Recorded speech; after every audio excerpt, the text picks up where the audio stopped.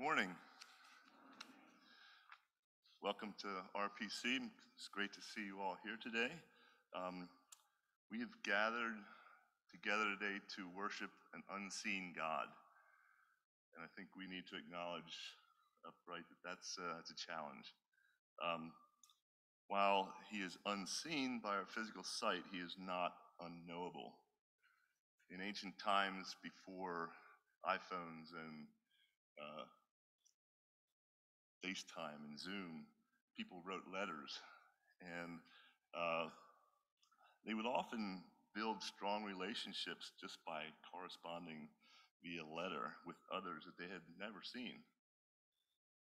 And this dynamic of the unseen uh, would require a more intentional type of communication and would often result in, in more robust relationships than, than what we have today with all our technology. So let's keep that in mind as we consider the words that our unseen God has written to us and to think about our own words in response to Him. So let's do that through Psalm 100. Make a joyful noise to the Lord, all the earth.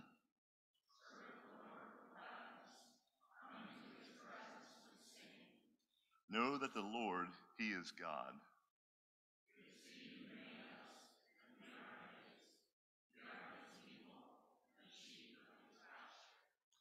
Enter his gates with thanksgiving and his courts with praise.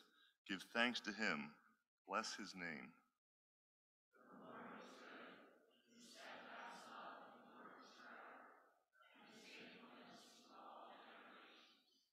Let's pray. Open the eyes of our hearts, Lord. Grant us an undivided affection for you, even if it is just for this short time that we spend together this morning. And having tasted and seen that you are good, we pray that you would increase that desire in us more and more. In Jesus' name, amen.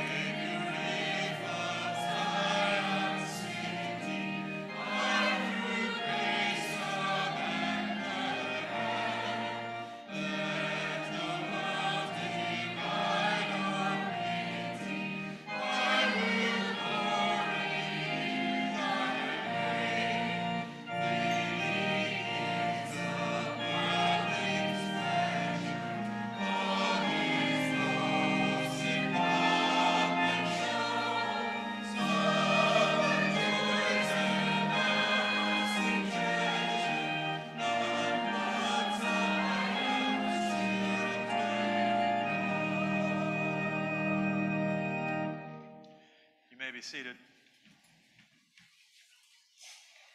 As we approach our most holy God this morning, it's good for us to confess our sins together before Him. Let's do that together. Let's confess our sin. Almighty and most merciful Father, we have been erring and strayed from your ways like lost sheep. We have followed too much the devices and desires of our own hearts. We have offended against your holy laws. We have left undone those things which we ought to have done. And we have done those things which we ought not to have done.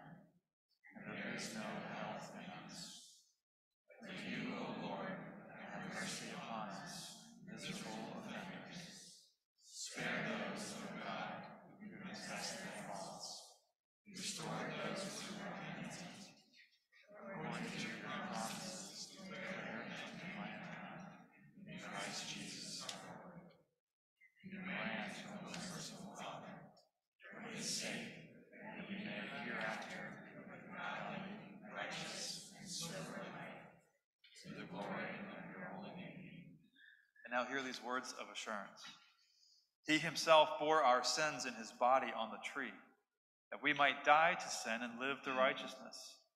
By his wounds you have been healed. For you were straying like sheep, but have now returned to the shepherd and overseer of our souls. This is good news for us this morning. Now I invite you to stand again as you are able as we continue our worship.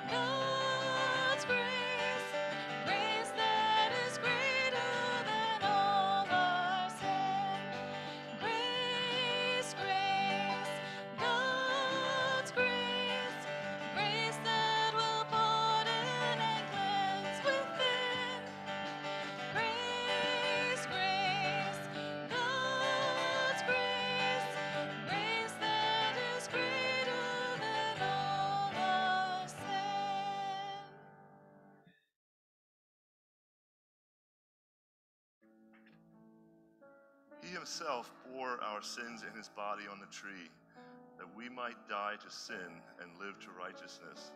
By his wounds you have been healed, for you were straying like sheep, but now have returned to the shepherd and the overseer of your souls.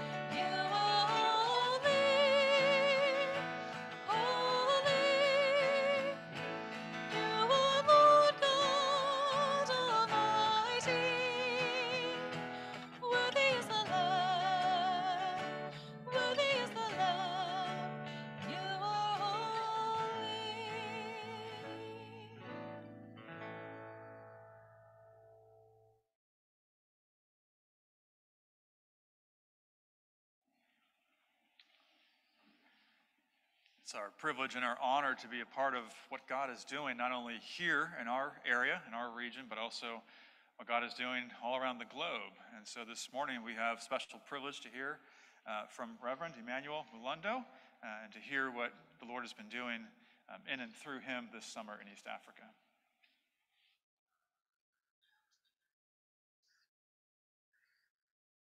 Good morning. Morning. Uh, it's a privilege to be here again, to stand before you, and to share what the Lord is doing overseas, especially in the land of Kenya and Uganda. I left here in May 2019 for mission trip, and I returned on July 7th. So in those many weeks, it's very hard to put it in the time I've given, but hopefully in the future, because I traveled crisscross Kenya, Uganda, and I was in many, many places. I was in churches, I was in prisons, I was also in youth group, married retreats, and other things that, but I'm going to show you partly, it's not uh, short of the what I did specifically, because it relates to many of you here who have been given, giving, and who gave for the work that is under the ministry of She Saved the Nation, that is reaching out to the girls in schools do the sanitary um, ministry that they provide. And so I'm going to give you just a few slides on that. I visited two schools during that. I was in Kenya from May 22nd and till June 8th. So all those times I was in Kenya, but we went to these two schools specifically because it relates to what RPC gave, and I took that to the people, uh, the ministry down in Kenya. And so, in that nutshell, let's see the slides. And my theme this year was in Luke 10, verse. So hopefully it works.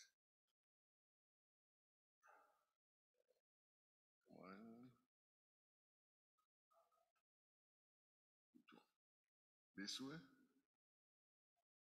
Or the, okay, thank you. Uh,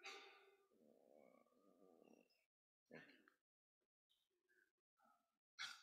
Sorry about it's not. Okay. As they bring it over, and they look 9 verse, there it is first. Okay, tonight. Okay. Luke 2, 10, verse 2, he says, And he was saying to the disciples, And the harvest is plentiful, but the laborers are few. Therefore, beseech the Lord of the harvest to send out laborers in the harvest. So that is, you'll see myself there. I am here. And this is the first school. These are the supplies you sent through your giving sanitary pads, soap, uh, lotion, and other things. And these are specifically, that was a, a- you call it elementary school. In Kenya, they call it primary school. And these are the people who are glad to receive. You'll see some of it. So here we go. And this is the gentleman who is in charge, Pastor Mugo, Director of Serves the Nation. He was here, but I wasn't here in the States visiting a daughter.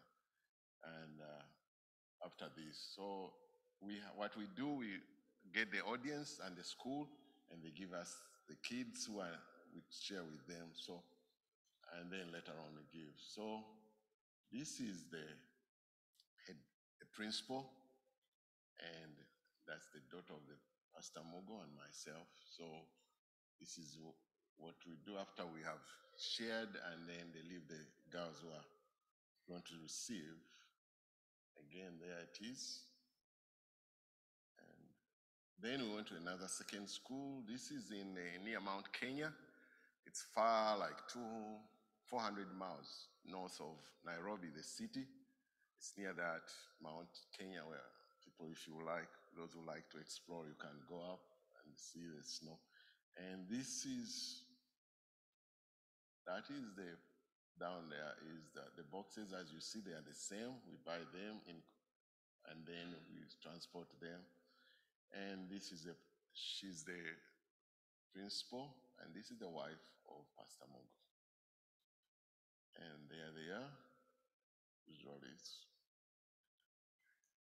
and this gentleman here is going to be the administrator of that primary school. This school was started after these of the children who are displaced because of hunger. So they started this. Around here, you couldn't see. In other slides, I, yeah, in my, I have a lot of homes around this area, shanty homes. These kids go to this school. They are home. Most of them were homeless. So this is the new principal. I mean, this is the principal, this is the administrator. And there I am with the boxes, sorry. Same. And this is where they have the girls come up and then we, they share. And here you see Pastor Mugo's wife there. She's sharing the word, which is very interesting. In those schools in Kenya, you're allowed to share the word of God. And that's the first thing they do in the morning. So still in Uganda, still the same. So the word of God still available to these kids. So they share, and then later on, and she was sharing specifically. She also shares about how other things relating the girls before handing over the items. I think that's it. So my thing is, uh, as I wind, I went to other places, but secondly, as I say to you, that I went to prisons, but because of uh, uh, the inmates and because of security, we never took any pictures there. So you might wonder where I was, where, but I was privileged to share some people, these in, the inmates were, some of them on capital punishment, but some have come to know Christ while they are in jail. They have a big church. I was surprised. I mean, we are fewer than here.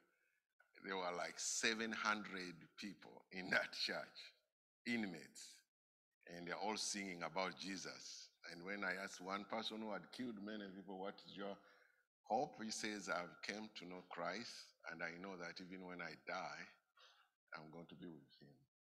So, prayer requests. Uh, Bibles are really in need in those two countries.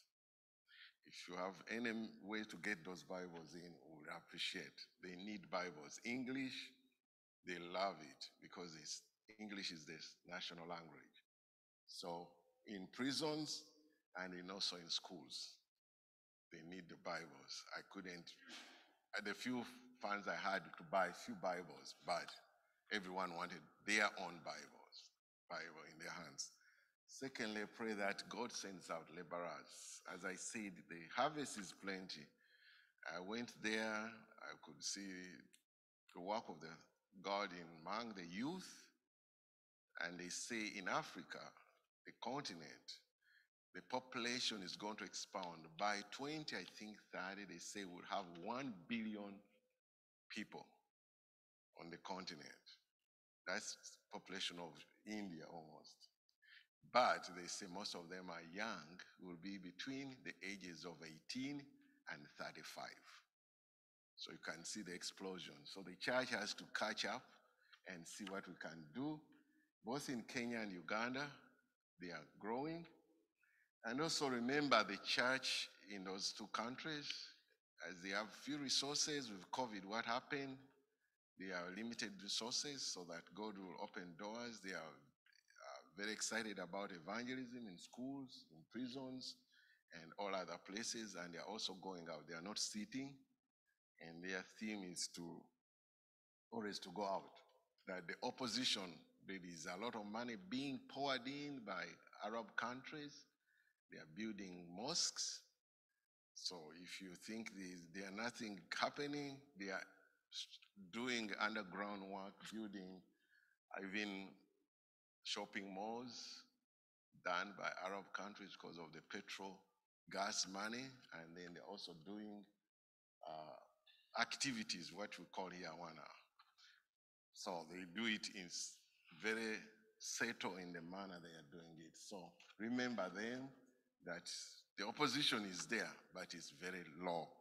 And finally, I want to thank RPC, the family, for your support. And without you standing with me during these times, and many times I've gone before, and I just want also to thank God for my wife. She has, she wasn't able to come. She's working.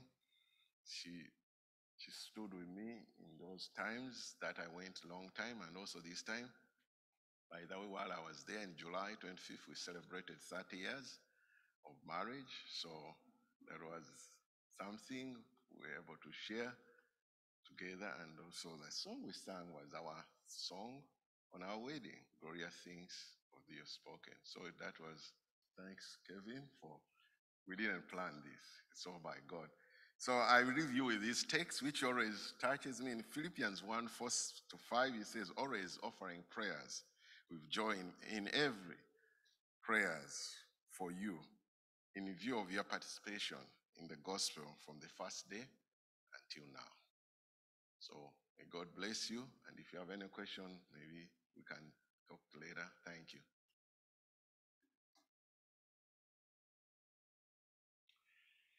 Thank you, Emmanuel. Um, let's take a moment now. Let's stand and greet those who are around you.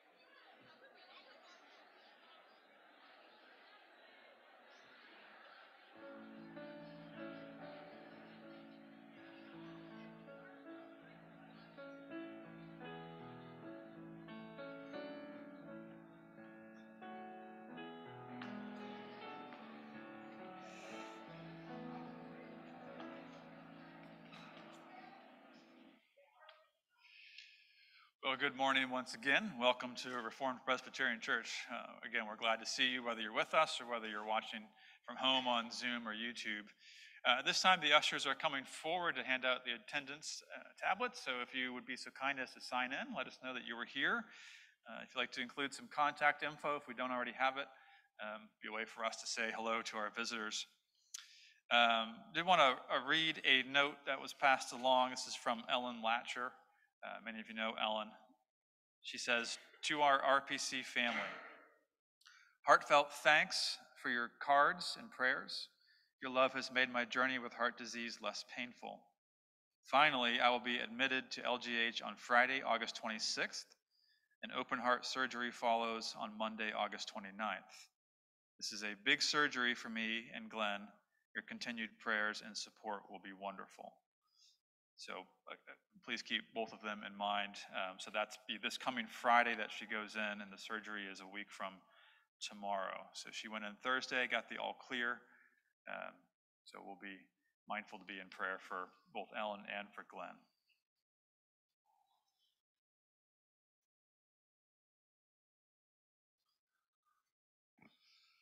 We also received a note this morning, it did make it into the bulletin, that Marie Ida Miller has tested positive for COVID, is in the Ephrata Hospital. Uh, Glenn has tested negative, so they would appreciate your prayers at this time. We can add them to our very lengthy list of, of uh, people from our congregation that are suffering in one form or another right now.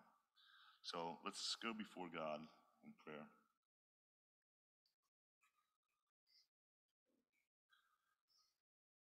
Our Father, we, we bow before you, uh, the awesome creator of the universe. And though through uh, modern technology we get glimpses of the vastness of all that you have made, uh, we know that we still see so little. And while you are so far above and beyond us, uh, you have stooped down and you care for us and demonstrate your love through your Son, Jesus. And even though you have shown this amazing love, we still, like sheep, are easily distracted. Uh, we wander off for what we think are greener pastures, and they always turn out to be weeds. So thank you for your patience with us. Thank you for uh, continuing to forgive our drifting and faithfully bringing us back to yourself. Father, as, as we mentioned earlier, there are many uh, in our flock who are facing surgery or recovering from surgeries, uh, grieving various losses and walking through illness. Just ask, Lord, that they may experience your watchful eye and your caring hands as they go through this uh, trying time in their lives. Bring healing, we pray. Lord, I pray now as Kevin teaches your word, we pray that you would empower him by your Holy Spirit, that we would all leave here with a new gratitude and a fuller understanding of Jesus and a new resolve to love and serve him. We pray this in his name. Amen. The ushers will now come forward and receive the morning offering.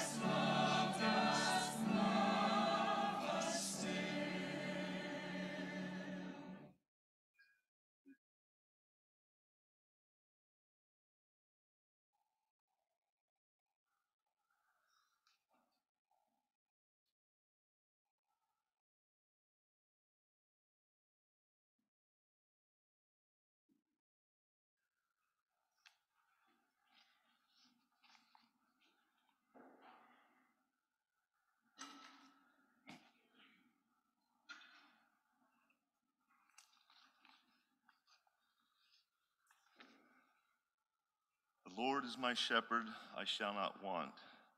He makes me lie down in green pastures. He leads me beside still waters. He restores my soul. He leads me in paths of righteousness for his name's sake. Even though I walk through the valley of shadow of death, I will fear no evil, for you are with me. Your rod and your staff, they comfort me.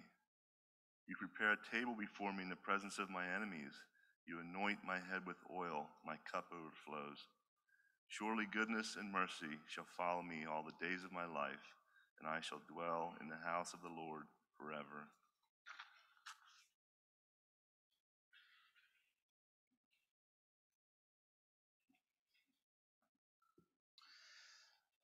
Those are familiar and comforting words for many. And maybe especially so when the shadows seem to be growing longer. Psalm 23 is one of the few Psalms that has no plea, no request. He's not asking the Lord to do anything, it's just a simple statement of the goodness of God. He doesn't say, Oh, please be my shepherd. He says, The Lord is my shepherd. I'm going to read from John chapter 10, also a familiar passage to many. This is John 10, verses 1 through 18. Truly, truly, I say to you, he who does not enter the sheepfold by the door, but climbs in by another way, that man is a thief and a robber. But he who enters by the door is the shepherd of the sheep. To him the gatekeeper opens. The sheep hear his voice, and he calls his own sheep by name and leads them out. When he has brought out all his own, he goes before them, and the sheep follow him, for they know his voice.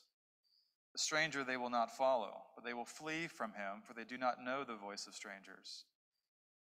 This figure of speech Jesus used with them, but they did not understand what he was saying to them. So Jesus again said to them, Truly, truly, I say to you, I am the door of the sheep. All who came before me are thieves and robbers, but the sheep did not listen to them. I am the door. If anyone enters by me, he will be saved, and will go in and out and find pasture. The thief comes only to steal and kill and destroy. I came that they may have life and have it abundantly. I am the good shepherd. The good shepherd lays down his life for the sheep.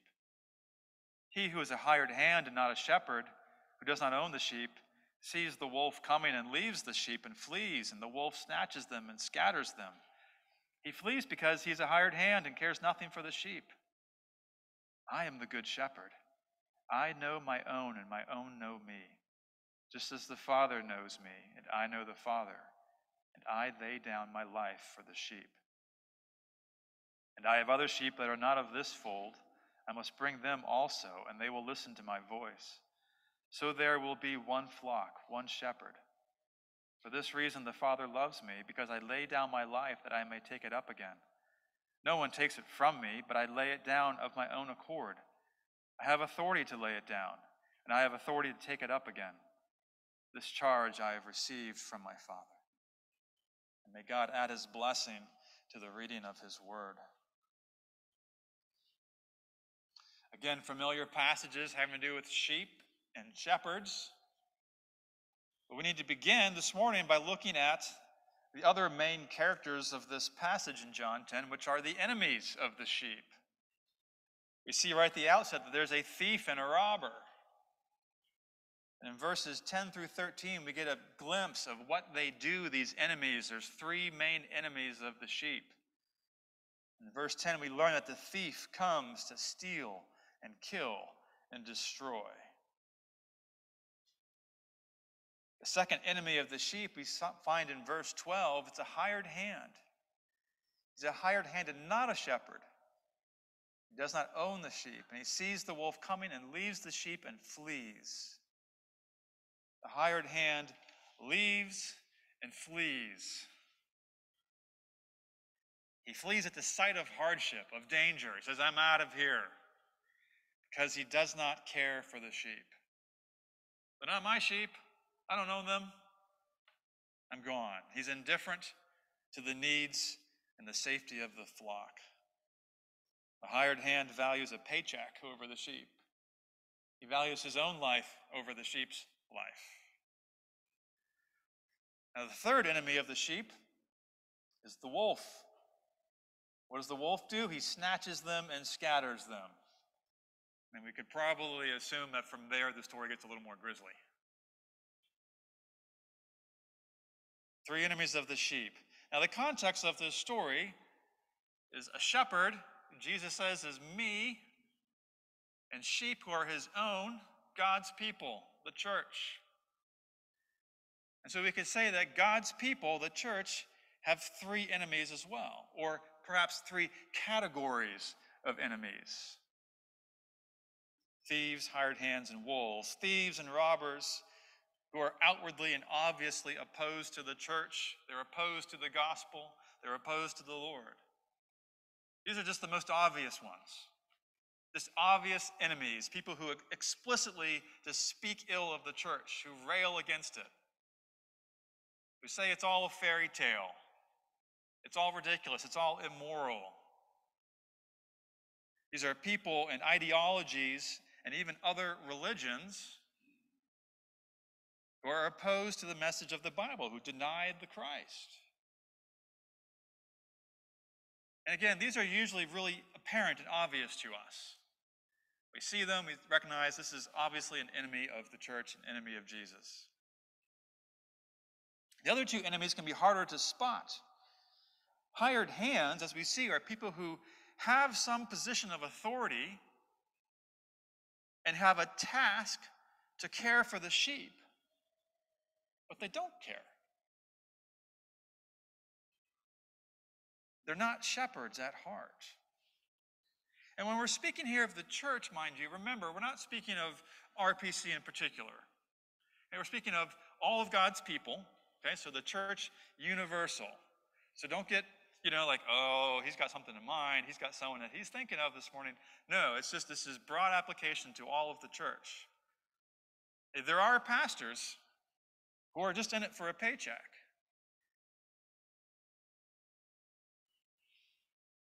Who the ministry for them is just a relatively stable, easy thing. Now, 2020 has weeded out some of those, but there are pastors who take a position predominantly as a stepping stone for career advancement. That happens. They're hired hands. There are elders and other leaders who just like having power, who just like having influence. Again, I'm not talking about RPC. Try not to get specific examples in your mind right now. Just speaking broadly, some that we need to be aware of and on guard against. And to pray for these people that they don't fall into this. There are Sunday school teachers who have agendas but no loyalty. There are church members who feel some obligation to show up but when the going gets tough, they don't stick around.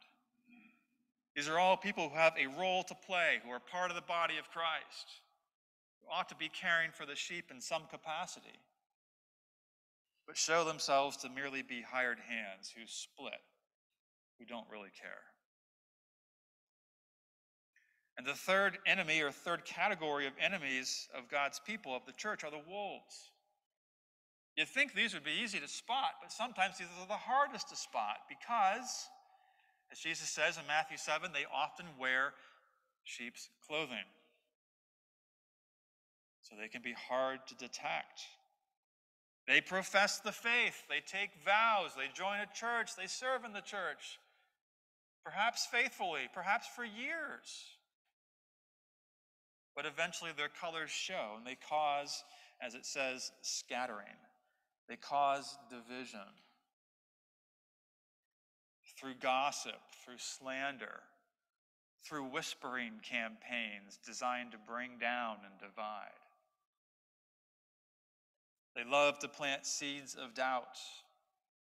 They relish drama. They take pleasure at taking down. So, in contrast to these three enemies, on the one hand, we have, on the other hand, the Good Shepherd.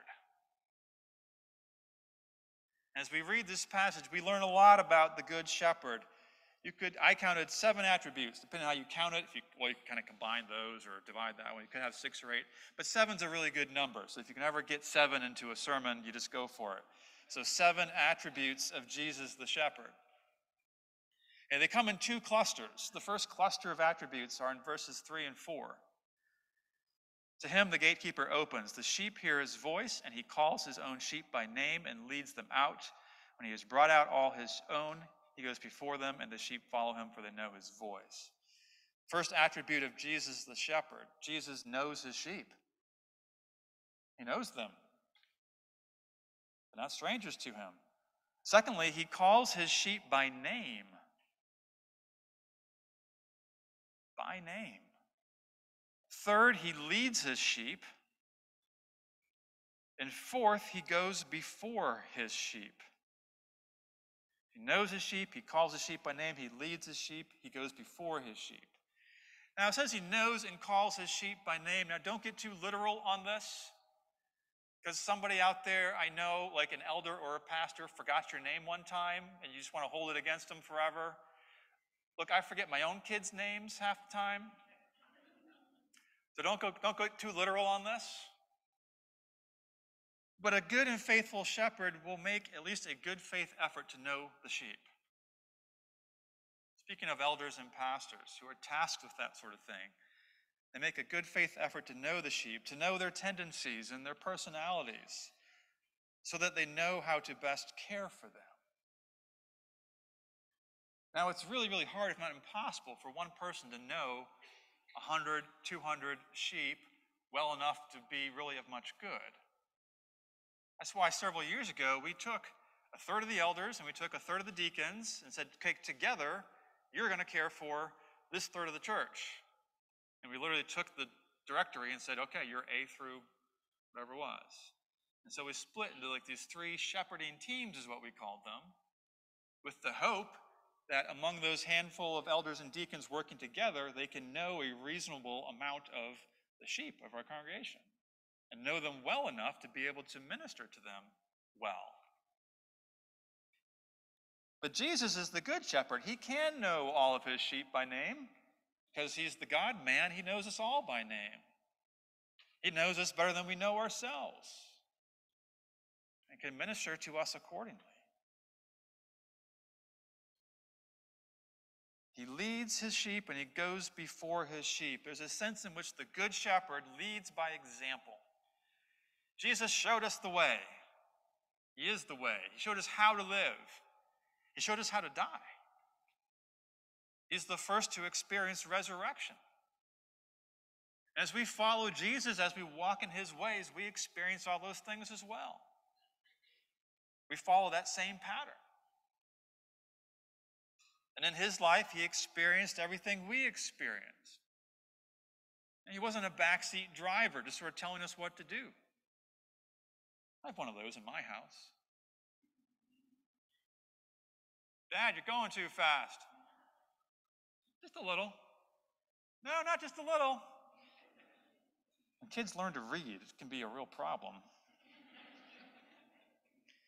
Jesus doesn't just sit back there, doesn't dictate from a soapbox. He gets into the fray.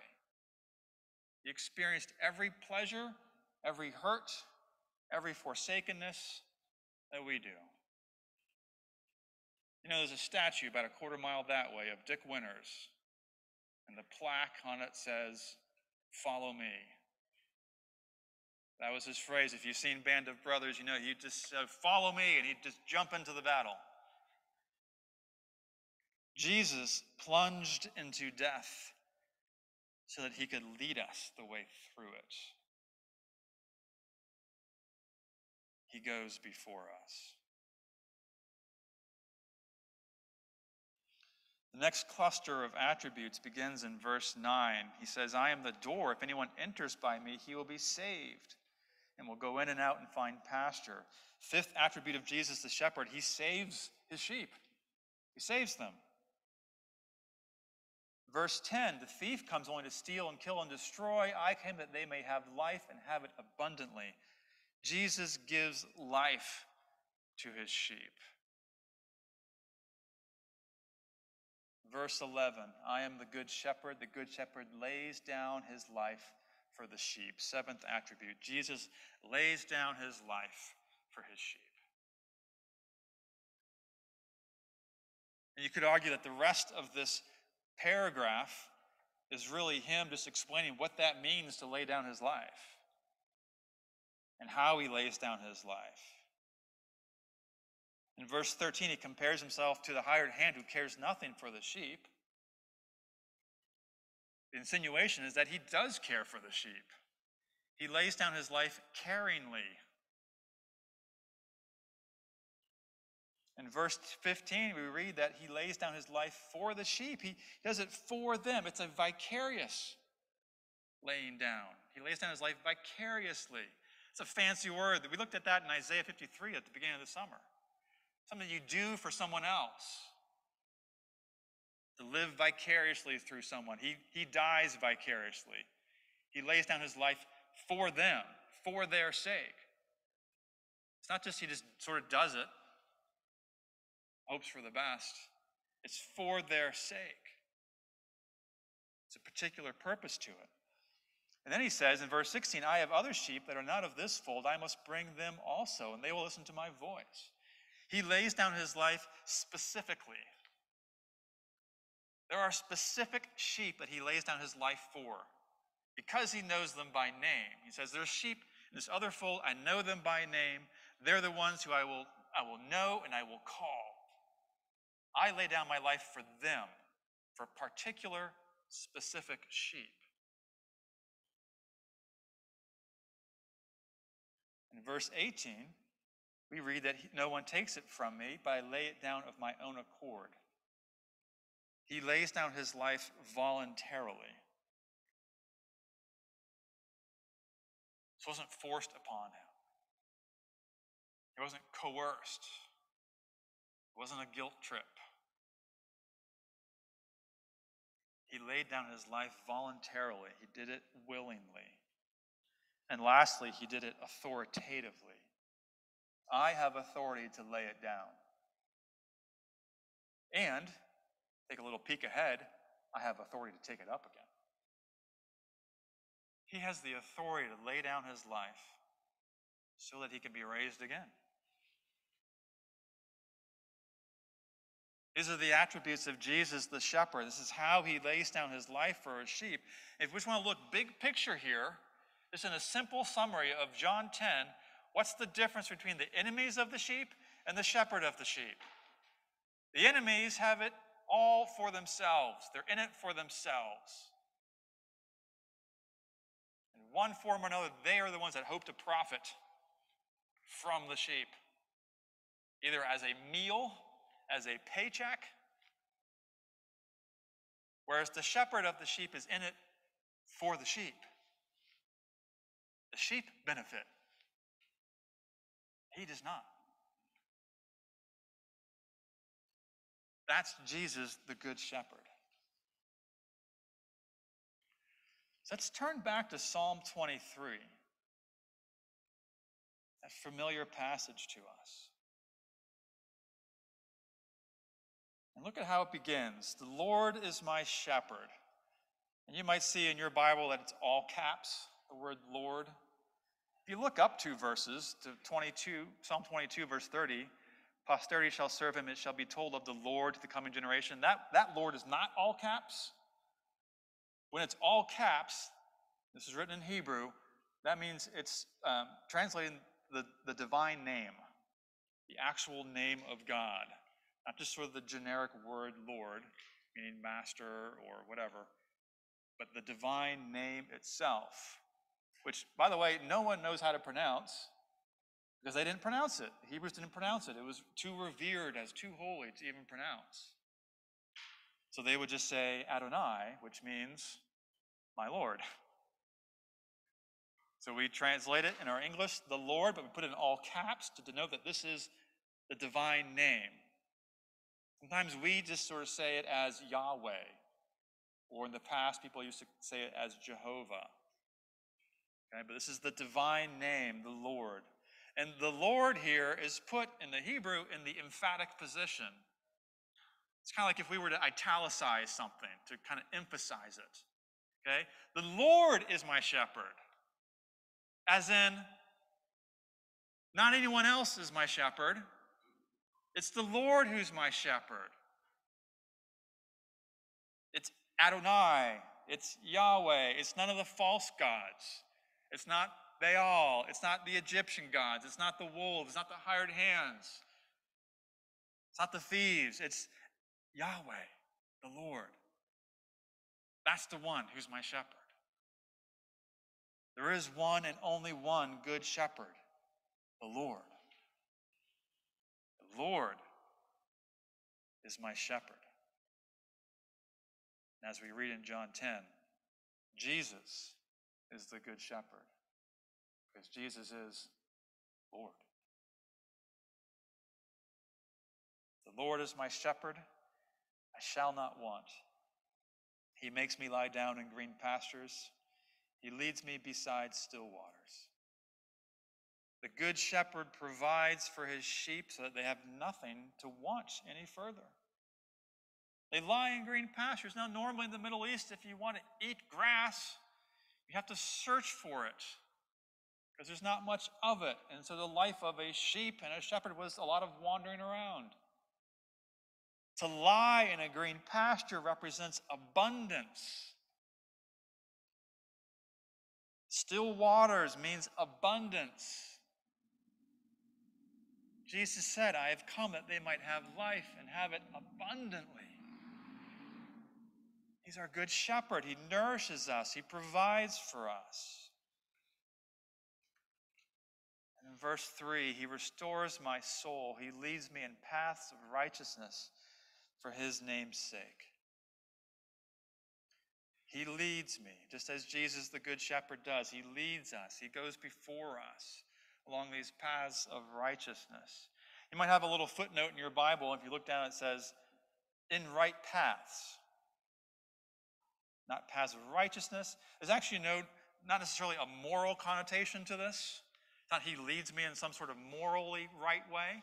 It just means simply the right way, the right path, the way I should go morally and otherwise. He leads me the way I should go. This is a statement of trust. Remember, is, there's no plea here. It's not, please lead me in this way. It's, you do lead me in this way. He, the Lord, leads me in the right path. It's a statement of trust that He's leading me well, that everything that has come behind me and everything that's before me along this path is right. Now, some of you might want to think back on the path you've walked in the last 12 months, last week, last couple years. And perhaps you've asked yourself, is this really the right path? It seems like it's been a hard path, a not so fun path. Are you sure, Lord, this is the right path? The next verse says, Even though I walk through the valley of the shadow of death. Now, connect that to the verse that we just read. He leads me in the right path, even though that, that path goes through the valley of the shadow of death. That's the faith of the psalmist. It says, even though I walk through the valley of the shadow of death, I know this is the right path. That takes a good measure of faith, does it not? I'm sure we have all struggled with that at some point, probably recently. Are you sure, Lord, this is the right path? The psalmist says, Yes, it is. And you may have another little footnote there in verse 4 the shadow of death, or quite literally means the valley of deep darkness. It's a dark valley. Think of the Middle East. Topography there, the, the deep valleys is often where the most grass is. One, because the sun doesn't strike as hard to scorch the grass, and two, because valleys are where water tends to flow. And where the water is, there's more vegetation. So deep valleys tend to have more things for sheep to eat. There's also more things that eat sheep in those places. The best grass is in the deep valleys, but also the most dangers. And sometimes the right path, the path that the Lord has ordained for us to walk, sometimes goes through darkness, sometimes deep darkness, sometimes pain and hurt and danger. That's where He feeds us. That's where we grow.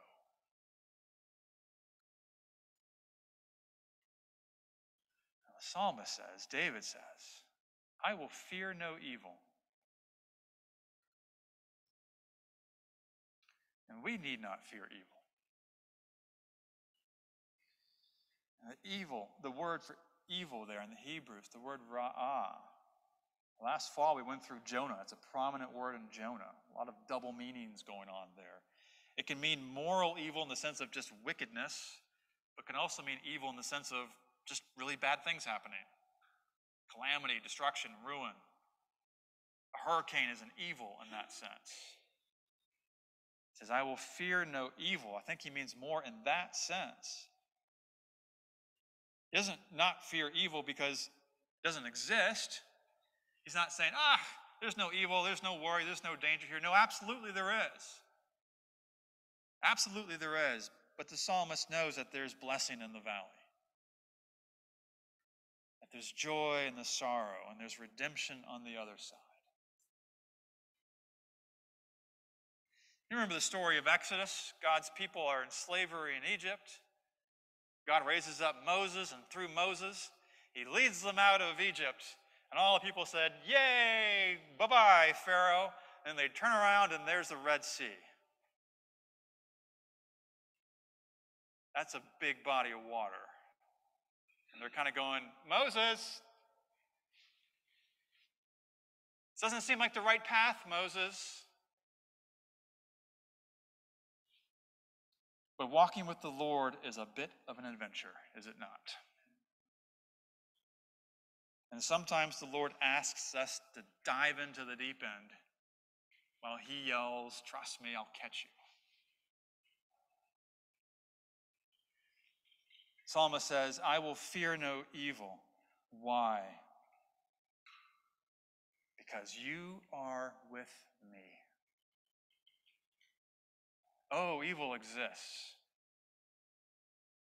And when you're in the dark valley, you know evil exists. But I will fear no evil, for you, the Lord, are with me.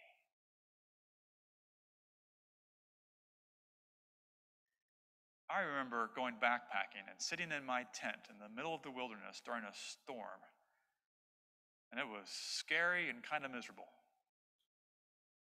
I also remember another time I went backpacking and I sat in my tent in the middle of the wilderness in the middle of a storm, but I had a friend with me that time. And it was all just kind of part of a fun adventure. That's what the presence of another person can do. Now imagine the presence of the Lord and the ability that it has to calm all our fears.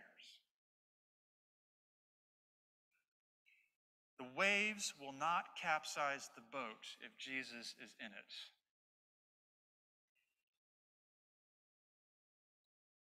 And when you walk through the valley of deep darkness, you need not fear evil because Jesus is in it. He is leading you, He is guiding you, He is showing you the way through.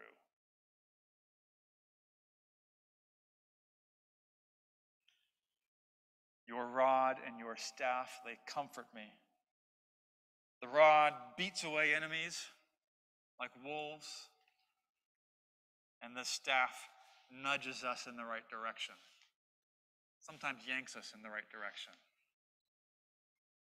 depending on how stubborn we are that day because he saves his sheep. That's what a good shepherd does. Verse 5 You prepare a table before me in the presence of my enemies. You anoint my head with oil. My cup overflows. Even in the midst of enemies, in the midst of Ra'ah, in the midst of evil, the provision of the Lord is overabundant. It is cup overflowing abundant. And so he ends by saying, Surely goodness and mercy shall follow me all the days of my life. I shall dwell in the house of the Lord forever. When we follow the Lord, no matter how difficult the journey may be, we have a sense that this is the good life. This is the good way. Even when it's hard, even when it's difficult, this is the good life. I love hearing the testimony of seasoned saints who can look back over their life and all the trials that they've been brought through, all the evils that they have overcome by the grace of God, and to hear them say, This is the good life. When we wander off, when we get enamored by the things of the world, we're either seduced by the pleasures of life or we're angered by all the frustrations of life. We lose that. We lose that sense. But praise be to God, our good shepherd is there and takes his staff, hooks it around our neck, and gets us back on the right path. I will dwell in the house of the Lord forever. It's just a statement of fact. Because the Good Shepherd is who he is and does what he does, therefore I will dwell in the house of the Lord forever. This is simply what's true. It's the good life. This is the Good Shepherd, and there is no other. And despite my heart, which is prone to wander, Lord, I feel it. He will hold me fast. For how long? Forever.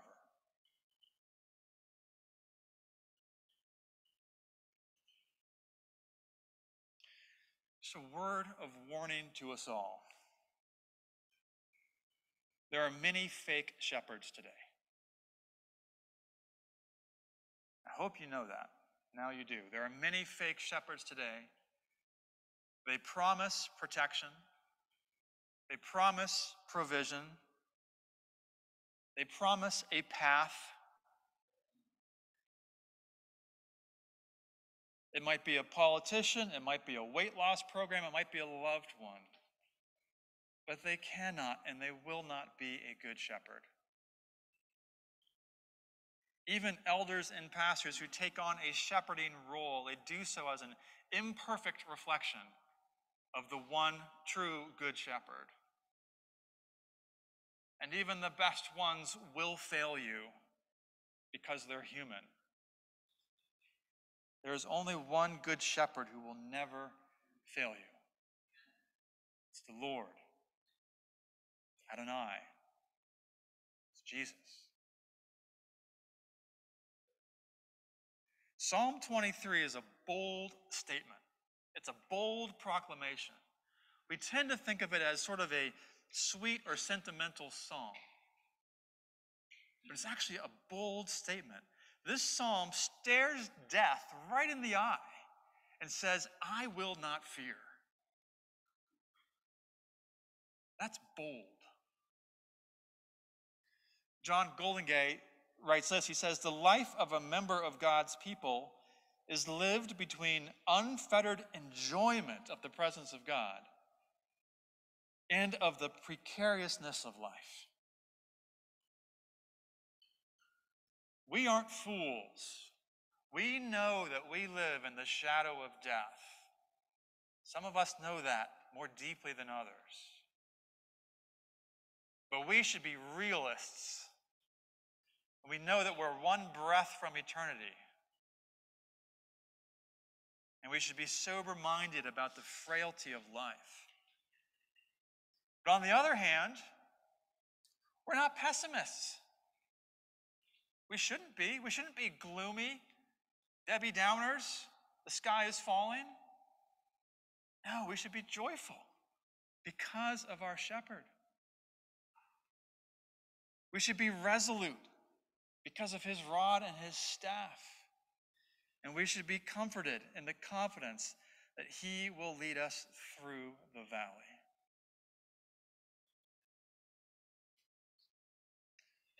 I'd like for us to close by reciting Psalm 23 together and aloud.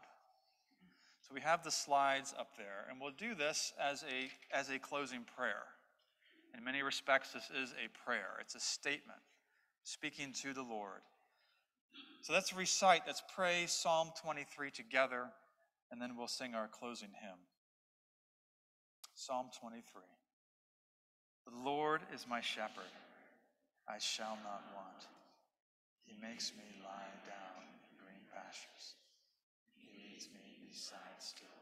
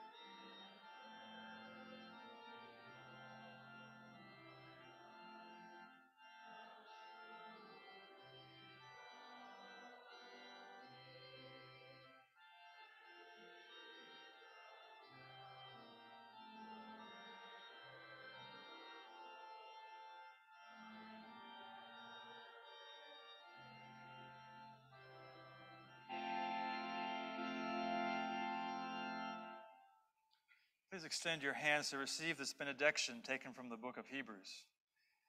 Now may the God of peace, who brought again from the dead our Lord Jesus, the great shepherd of the sheep, by the blood of the eternal covenant, equip you with everything good that you may do his will, working in us that which is pleasing in his sight, through Jesus Christ, to whom be glory forever and ever. Amen. Please be seated.